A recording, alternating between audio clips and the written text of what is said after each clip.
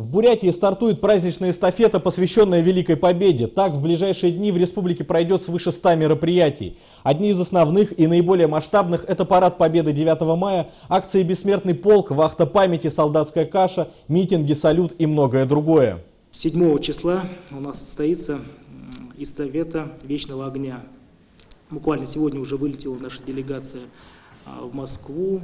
А, завтра состоится торжественный событие по передаче от э, поста номер один памятника э, неизвестному солдату от Вечного огня.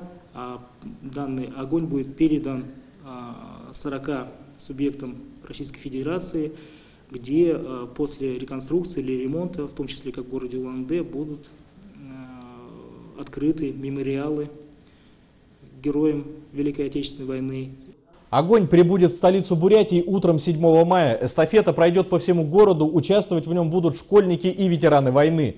Затем в 10 утра состоится зажжение Вечного огня у Мемориала Победы. 9 мая в 8 вечера на площади Советов состоится концерт «Победа», в котором примут участие звезды бурятской эстрады и специальный гость из Санкт-Петербурга Вадим Азарх.